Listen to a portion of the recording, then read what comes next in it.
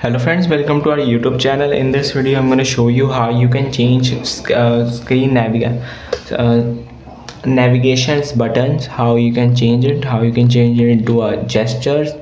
Before watching this video if you have not subscribed to our youtube channel then subscribe to it and like our video. So let's start friends. First you have to go to settings option then go to system and here it is system navigations. There are two navigations gestures and three button navigations. Here are three buttons and in three buttons there are two more settings. Choose layout. You can see this back button middle button and this button. You can just uh, left to right right to left. You can do this also.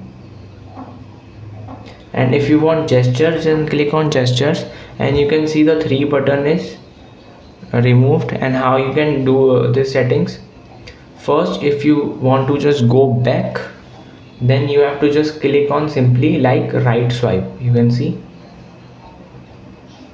By this you can go back. And if you want uh, go to the home screen then you have to just swipe up like this.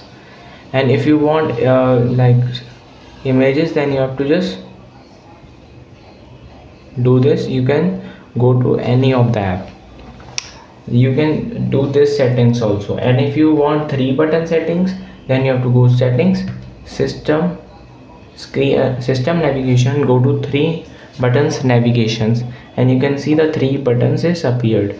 I hope you like this video. If you like this video then subscribe to our youtube channel for more helpful tips and tricks videos. See you next time